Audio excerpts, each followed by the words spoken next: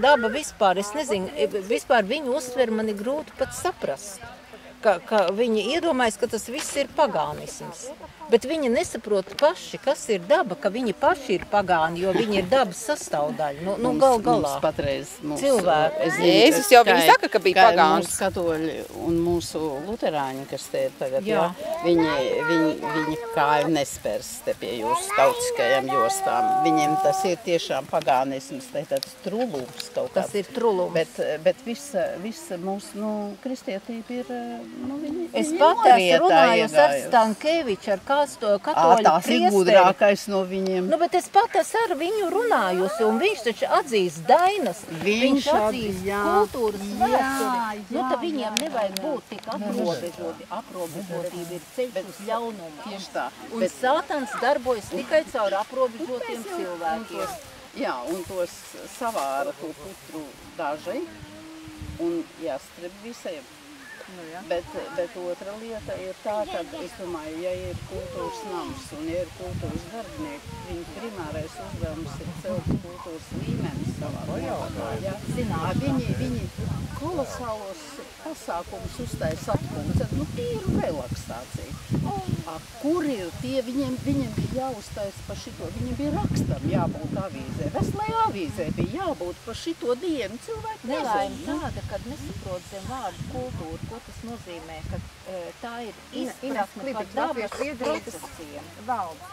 Latviešu biedrībā. Jā, kas jums tagad nu, pa, vada? visu, pa visu Latviju. Jā. Mēs neesam Rīga. Jūs neesat māmuļs. Nē, nē, nē. Latvijas biedrības Rīgā. Nu, jā, jā, jā. Jā. Tur mums ir uztaisīts. A, kur jums ir, kur jums ir Redziet, ļaunums. sēdeklis? Šeit izumās. Izumos, jā. Ziniet, kur ļaunums?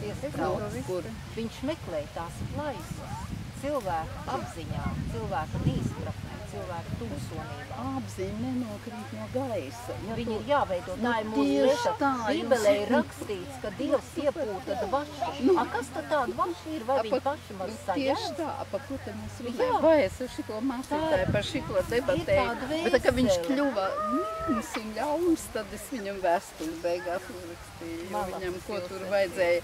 Nē, nu, ir, ir kaut kāda, nē, ir kaut kāda, jā, bet saprotat, bet, bet viņiem, viņiem ir piesaisti.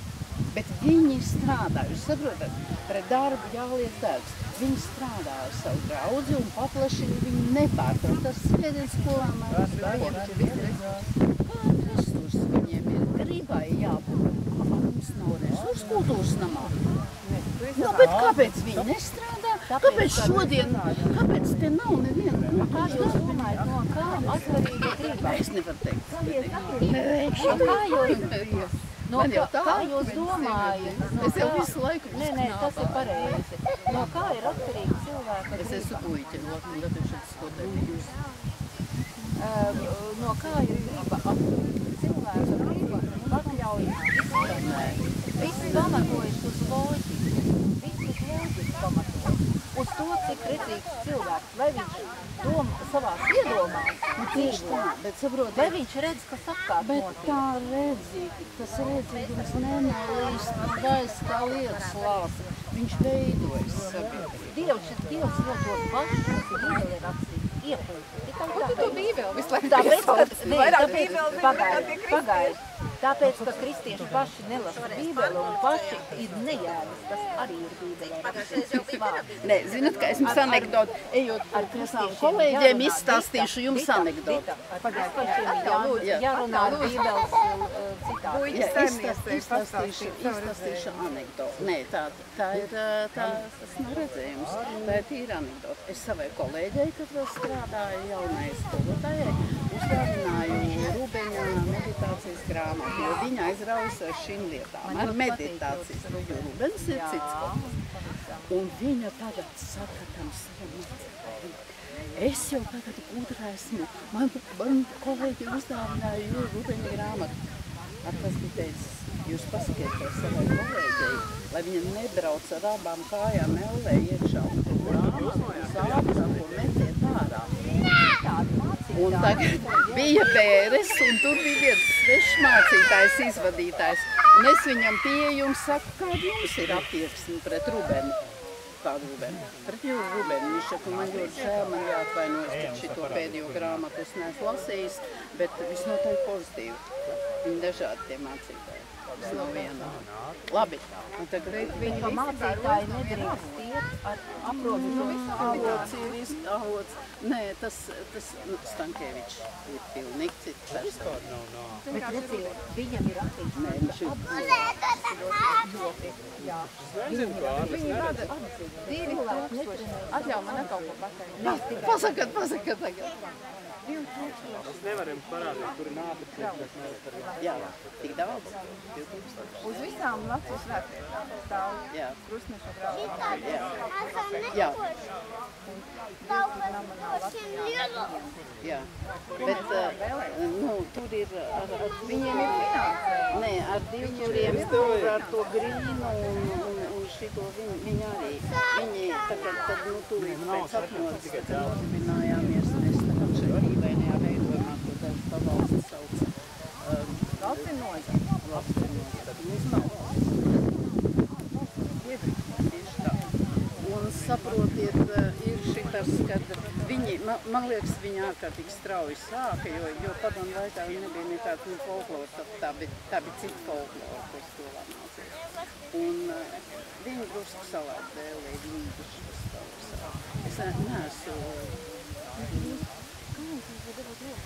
sāka. Es ne, neesmu, es neesmu vietas cilvēks, es esmu saistāts.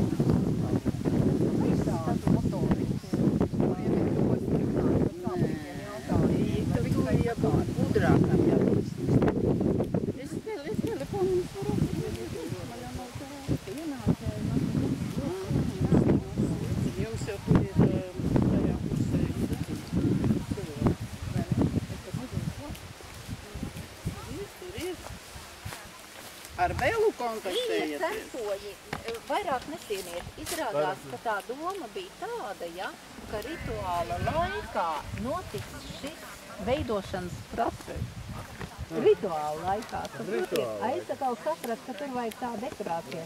Mums jau ieklemējusi tā padomību domāšana, ja, kad nu, tā, tā sārītīgais, tā butaforija, ja, ka nevis sprot, bet tagad jāiziet uz nu, tas ir sāksies. Lūdzu. Paldies, par sarunu. Liels. Um, Anna, Jā. skaists vārds. Vai ne? Tas ir no Bībeles. Žīd vārds. Tas vārds pastāvēja jau. Žīd vārds. Tas vārds pastāvēja daudz ilgi pirms viņu laika.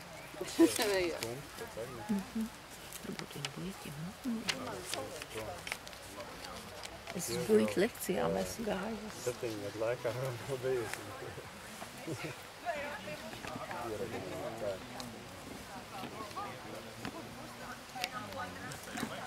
Galvenais, lai viņai ir iet labi. Iet labi. Laimīgi. Svēts vīrs.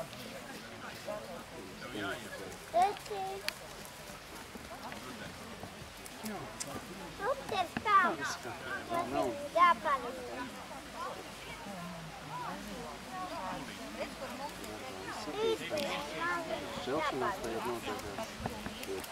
daļa paliks tur, jā. Jā.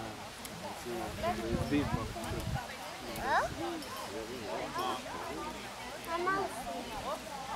Piedod viņam svētīgi.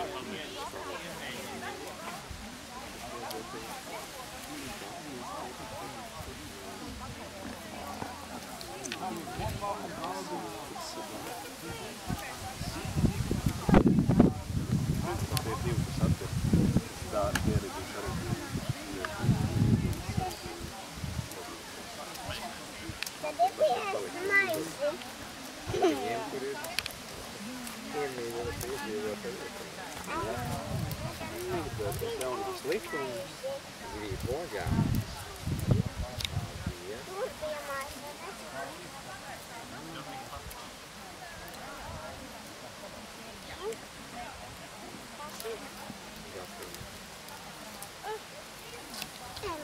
ますね。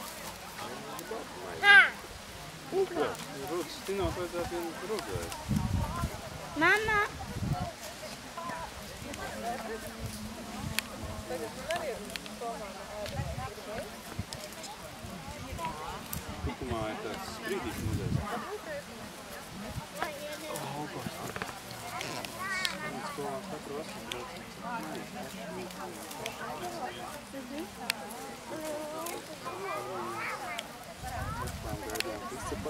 Izcepās un vakarā visu maizi ar ritiņiem ījām visu maizi. Tāds ritiņš pašs pārbraucējums bija.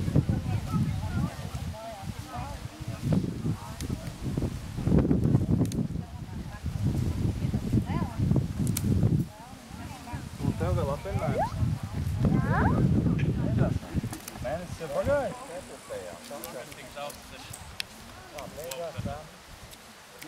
Jau nedēļas Stop, stop, stop, stop, stop, stop, stop, stop, stop, stop, stop, stop,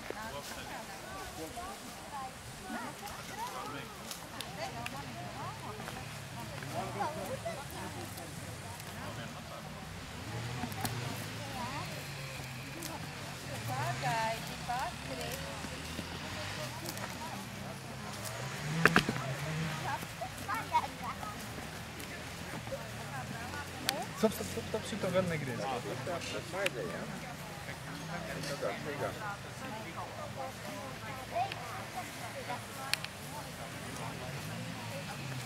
Divi jumīti. Viens jumīts. Daudz?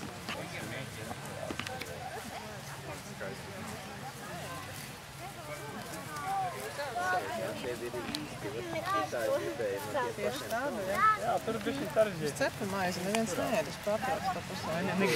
Jā. Nopietni, es cepu maizi. E, Maizes mašīnu mēs vēlāk nopirkam. Es tur mājās saprotu, es cepu maizi arī ieraugu. Un arī ieraugu, tur arī ieraugu. Mājās, jā. Un ir viens izbrāķēja, jo redziet, viņa nākošā dienā vairs nav mīksta un pufīga. Viņš ir lielais maizes ēdājs. Kāpēc es atmetu? Es esmu sapusi maizi. Bet viņa nākošā dienā nav. Viņš tagad ir beidzot pēc sešiem gadiem. Nu jā, ir augsts. Viņš ir ieklausījies tajā, ka augsts nav labi. Beidzot. Nu, man jau tikai arī, kad tad es uzzināju, es uzzināju pirms diviem, trim gadiem. Kā tu iztiec bez drauga? Es sešus gadus par to runāju. Tagad kā es es iztieku, nu- plaucē to maizi. Aptuveni ierobežoja pa 80%. Madarata. Tas arī. Kādreiz man kultūra sargāja pāris dienās, tad tagad jau nedēļu. Un Viss tam jau, es- man īstenībā no tām zinībām par to. to maizi, saprot, un tā ir cita gaša. Alberts būs jūs taisījis jumi. Paskaties, Al- atkal dišs jumītis viņam sanācis. Gan arī tāds kā bija.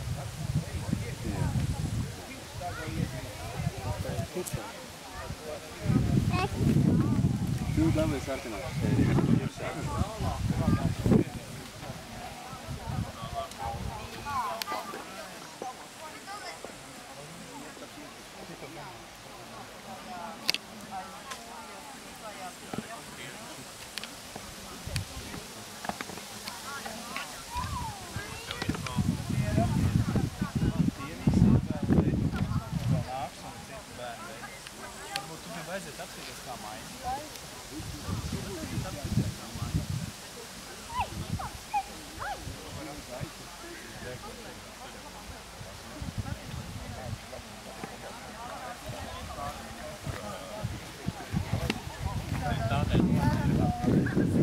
Sveicināti silaboti!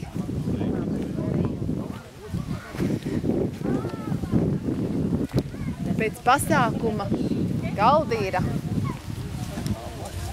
Cerams, būsiet noskaņojušies ierasties izumu sētā. Apskatīt dievnīcu ap ozolu un krustabiņu virzītei. Sērkociņi ir tev? Sērkociņi. Ja binesēji.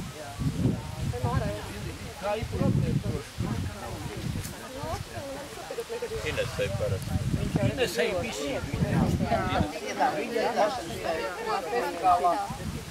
Bērnu man dāvā. Tur bija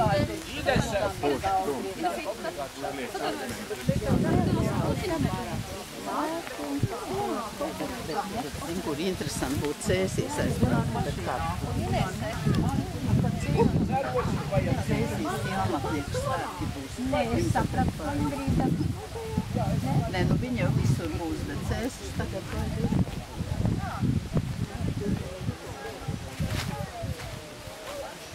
Labdien! jo cilvēkiem laikam tomēr jāiet. Pa labu. Nu, viss, kas tā teikt, laikam tādām normās, tas ir labi. Es nē, nē, nu vispār jau arī tā kā tas, ka ja kāds piln, pilns grauds klāt, vēl tā pavisam labi.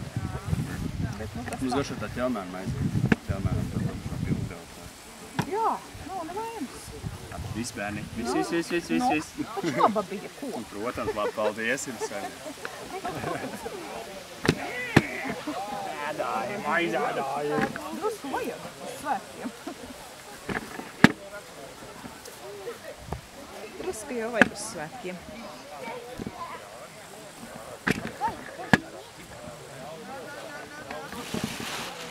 Labdien! Labdien! Gadu esam pavadījušas, ja? Jā, kaut kas nācis no jauna, kaut kas atkal pa vecam vēl. Kā jums veicās? Smagi, bet lieliski. Oh, tiksiet galā ar savu māju jau varbūt tur? Ne vēl? Nu, galīgi nē, bet pirtu ir iegādāta. Tā kā to jau vajag latviešu biedrītājā, mm to jau viss grozās. Tā palikšana, teiksim, jums tur taču no sanākšanas, palikšanas, tad jau telpām jābūt kaut kādām, ne? Um, tur ir tāds, tāda vēl lieta, ka mums tagad ir viesunams arī blakus mm. kaimiņos. Mm -hmm. Iebraudzējies. Labs! Saucās pie Zeltītes. Zinu, Pilnīgi blakus. zinu, zinu, zinu.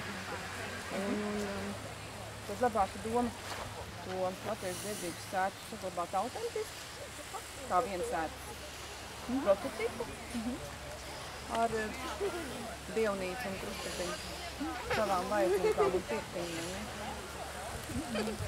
Un tas, tas pasākums, cerams, ka varēs tik taisīt. Pareizi, jo ieguldīšana liela, teiksim, ja paši nu, arī sajauks visu, ja taisīs tā kā viesunām. Tieši tā, un es Pareizi. negribu sa- neko sabojāt, jo tur tiešām ir tā brīvās laika struktūra saglabāta.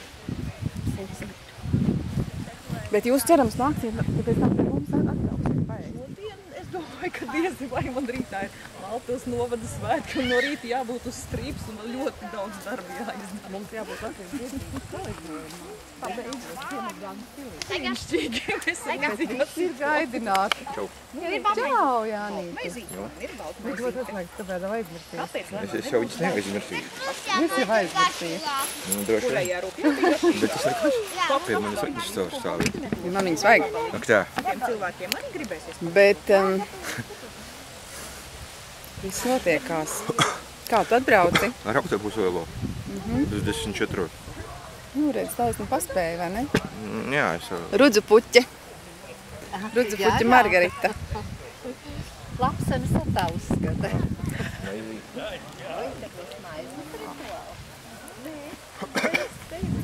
Cepēji stāsti. Visas, visas intereses par maizi cilvēkiem, kas mājās arī varbūt kaut ko grib sev izcept. Jā, es tikko nesen cepu. Ja? Un man iznāca nu, tāda